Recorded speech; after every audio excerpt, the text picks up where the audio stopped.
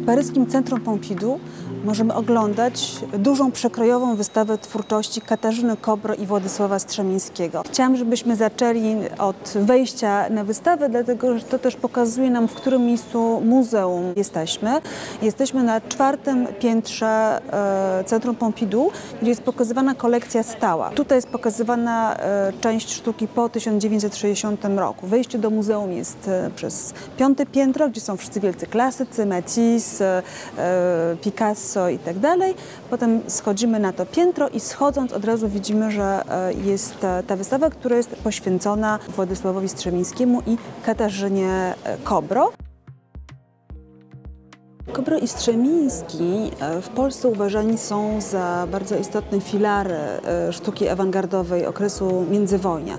Oni oboje urodzili się w Rosji. Strzemiński był starszy od Kobro i w momencie wybuchu I wojny światowej właśnie skończył bardzo elitarną wyższą szkołę wojskową na kierunku inżynieryjnym. Od razu został skierowany na front jako inżynier saper. W wyniku obrażeń w końcu stracił nogę i kawałek ręki i widzenie w jednym oku. Natomiast Katarzyna Kobro ona była aktywna jako pielęgniarka w czasie I wojny światowej i zaraz po wojnie wstąpiła do szkoły artystycznej, żeby kształcić się jako artystka. I Strzemiński postanowił całkowicie zmienić swoje życie i również wstąpił do szkoły artystycznej. A co to był za moment w Rosji? To był moment rewolucji. W 1917 roku rewolucję październikową, wszystko się zmienia i jak wiemy to wprowadza bardzo istotne zmiany w życiu artystycznym. Artyści, którzy byli, awangardowi artyści byli lewicowi, oni się od razu angażują też w, na rzecz zmian społecznych, rewolucjonizują szkolnictwo. I Kobra i Strzemiński studiują w Moskwie w tych nowych szkołach założonych przez Malewicza, przez Rodczenkę, Lisyckiego, braci Petzner i od razu e, wchodzą w te działania awangardowe. Do Polski przyjeżdżają w momencie, kiedy no, nie tylko Polska odzyskała niepodległość, ale to jest już kilka lat po uzyskaniu niepodległości. Oni przedostają się gdzieś na przełomie 1920 i 1921 roku przez zieloną granicę. Klimat wokół tej sztuki rewolucyjnej zaczyna e, trochę się komplikować. E, w, o, w łonie tych artystów rewolucyjnych robią się tarcia i oni, e, którzy nie są za sztuką produktywistyczną, czyli nie są za, za sztuką propagandową, no, postanawiają skorzystać z tego, że, że, że Polska odzyskała niepodległość i się zainstalować. Nie wiemy, czy chcieli jechać dalej na zachód, czy nie. W każdym razie z Polski już nigdy potem nie wyjechali. Byli bardzo zaprzyjaźnieni z Malewiczem, byli jego bliskimi współpracownikami i widzimy tutaj na dwóch obrazach Strzemińskiego, czarno-białych, dyskusję z Malewiczem i z czarnym kwadratem Malewicza, który w jednym z tych obrazów e, Strzemiński całkowicie rozbija, e, tak jakby poszukiwał jakiejś innej organizacji obrazu i to stanie się głównym tematem e, jego oraz Kobro poszukiwań po przyjeździe do Polski w latach dwudziestych i co doprowadzi do powstania teorii unizmu, której poświęcona jest kolejna sala. Teoria unizmu jest jedną z ważnych teorii awangardowych. Jak wiele z, tych, z teorii tego okresu koncentruje się na tym, czym jest dane dzieło sztuki. W przypadku twórczości Strzemińskiego będzie to pytanie, czym jest obraz i czym powinien być obraz, a w przypadku Kobry jest to oczywiście pytanie stawiane rzeźbie.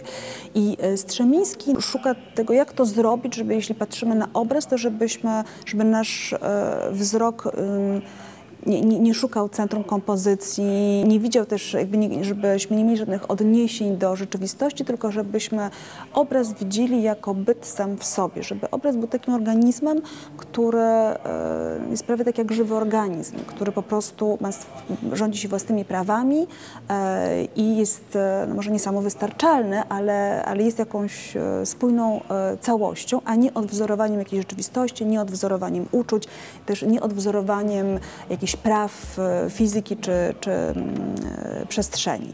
E, więc szuka jedności obrazu. Widzimy bardzo ciekawe poszukiwania koloru u Strzemińskiego. To są takie kolory nie zawsze, często bardzo subtelne. Bardzo pięknie pracuje z kolorami Strzemiński. Pełnię rozwoju tej, tej, tej teorii widzimy w takich obrazach, które mają dość pastelowe kolory i są jedyne w swoim rodzaju. My nie znamy w sztuce awangardowej czegoś porównywalnego, gdzie właściwie jesteśmy w stanie zagłębić się w ten obraz obraz. To jest właśnie to, czego on szukał, żebyśmy po prostu weszli w obraz, nie żebyśmy też nie do końca wiedzieli, jak on jest zrobiony. Natomiast Kobro rozwija tę teorię, jeśli chodzi o rzeźbę i co ciekawe, w przypadku rzeźby to jest e, trochę odwrotnie, tak? Czy że rzeźba według Kobro nie ma być zamknięta sama w sobie i nie jest ograniczona żadnym ani prostokątem, ani sześcianem, ani bryłą, tylko wprost przeciwnie. Ona obserwowała, e, jak pracują architekci, dlatego że Kobro i Strzemiński oboje byli blisko z architektami. To było takie jedno z pierwszych środowisk, z którymi oni się związali po przyjeździe do Polski. I nie obce są jej teorie architektury. I dla niej e, rzeźba, podobnie jak architektura, musi być częścią przestrzeni. Czyli rzeźba nie ma się narzucać przestrzeni, tylko ma z nią współpracować. Jeśli spojrzymy na te rzeźby, które są robione z blachy giętej, e, są bardzo, mają bardzo proste formy, e, one, trzeba sobie wyobrazić, że one dzielą przestrzeń. Także to, w czym jesteśmy, no to jest taka przestrzeń abstrakcyjna, tak? to jest, nie wiem, powietrze, pustka, tak byśmy to nazwali, a dla Kobra to nie jest pustka, tylko to jest materia rzeźbiarska. Kolejną salą tego pokazu jest przestrzeń poświęcona międzynarodowej kolekcji sztuki nowoczesnej Muzeum Sztuki w Łodzi. Muzeum Sztuki w Łodzi jest jednym z pierwszych na świecie muzeów sztuki nowoczesnej i tutaj ogromną zasługę e, mają w tym właśnie Katarzyna Kopra i Władysław Strzemiński, e, którzy jak tylko wrócili z Rosji, to ich ideą fix było, żeby, e, żeby powstała publiczna kolekcja sztuki nowoczesnej po to, żeby edukować społeczeństwo. To był stricte edukacyjny cel. Oni wierzyli w to, że sztuka zmienia nasze życie i że jeśli e, społeczeństwo będzie się zapoznawało z odkryciami w sztuce współczesnej i z nowymi formami w sztuce, to będzie również e, łatwiej wprowadzić e, pewne zmiany w organizacji społecznej, w organizacji przestrzeni urbanistycznej i w ogóle w sposobie myślenia ludzi, że to wszystko będzie mogło być bardziej nowoczesne, bardziej otwarte, też bardziej międzynarodowe.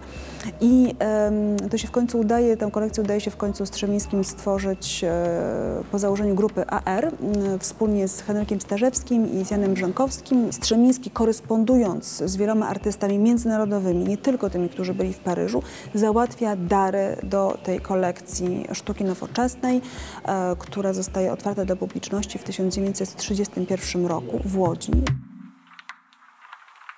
Zależało nam, żeby całościowo pokazać Kobro i Strzemińskiego e, francuskiej publiczności.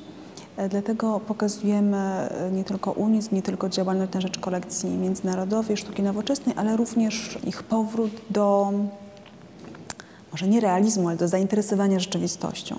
E, I powrót u Kobro do, do figury ludzkiej, u Strzemińskiego do tematów wokół sylwetki ludzkiej. Ta niewielka stara pokazuje lata 30., kiedy oboje artyści porzucili te poszukiwania jedności, czy takiej organiczności rzeźby i malarstwa i porzucili teorię unizmu.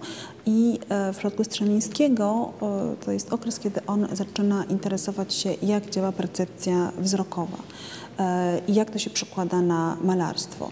W przypadku Kobro widzimy, że ona nadal szuka w obrębie abstrakcji, tylko że jest to już linia bardziej organiczna. To jest też prawdopodobnie takie zetknięcie się, no tutaj akurat z, ze sztuką francuską. W tym czasie robi też e, akty które właściwie bardziej nam przypominają rzeźby kubistyczne niż, e, niż to, co Kobro robiła wcześniej, a u Strzemińskiego pojawia się ta linia organiczna, którą to wszędzie wokół widzimy, czy są to pejzaże morskie, czy portrety, czy inne obrazy z postaciami.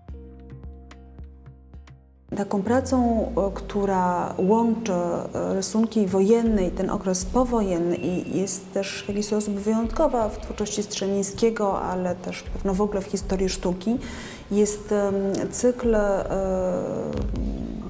kolarzy moim przyjaciołom Żydom. To była taka, która prawdopodobnie była przeznaczona do tego, żeby zostać wydrukowana to jak to zostało wykonane, to wskazuje. I widzimy na niej fragmenty fotografii z obozów zagłady i z gett polskich, e, które są jakoś zakomponowane na stronie i do tego jest dołożony rysunek, który jest przeniesiony za pomocą kalki z wybranego rysunku z tych cykli wojennych. Także są wszystko rysunki, które możemy rozpoznać z tej twórczości wojennej Strzemińskiego.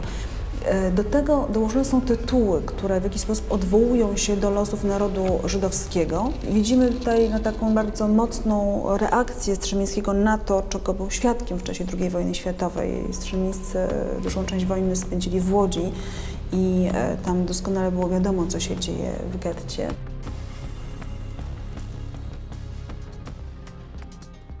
Wystawę kończymy oczywiście najpóźniejszymi pracami Strzemińskiego. Ona ma takie chronologiczne, e, klarowne i zrozumiałe dla, dla widzów układ.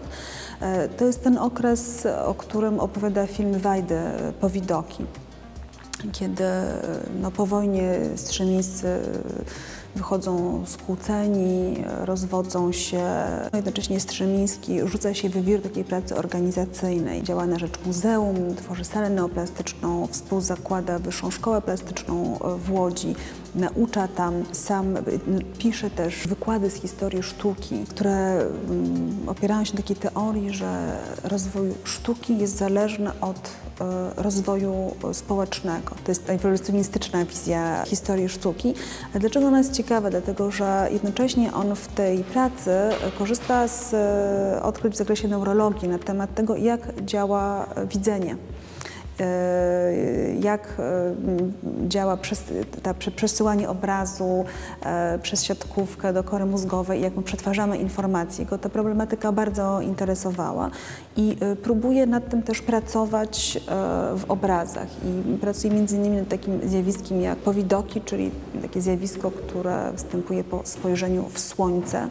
Kiedy potem e, nie patrzymy już w słońce, to mamy rodzaj takich kształtów i plam, które nam się pojawiają przed oczami mm, i które są trudno wytłumaczalne.